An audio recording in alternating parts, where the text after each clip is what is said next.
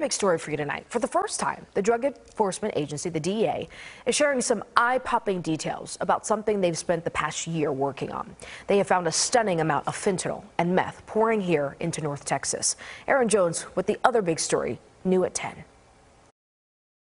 North Texas is prime real estate for drug trafficking organizations, according to the DEA Dallas division.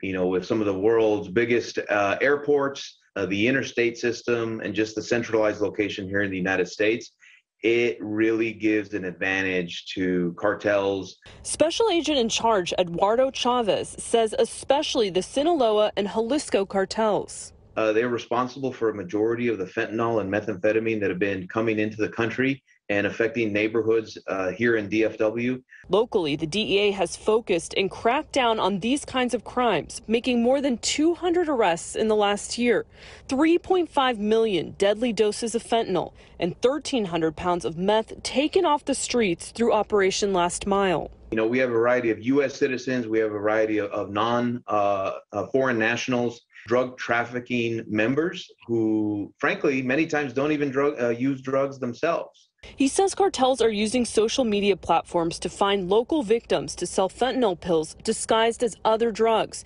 like Oxycontin, Percocet, or Xanax. We need to do a better job as a community to get out there in the public and talk about it. Lauren O'Connor is the president and executive director of Foundation 45, which is hosting educational events. You always have to be prepared and have your Narcan. Informing North Texans about the problems and teaching them how to use Narcan, which can reverse an opioid overdose. It starts with the communities, it starts with parents, it starts with the schools. It's a collective effort. And if you're interested in one of these educational events, the Dallas County Sheriff's Office is hosting one next Tuesday. It will take place at Paul Quinn College at 6:30 p.m. Aaron Jones, CBS News, Texas.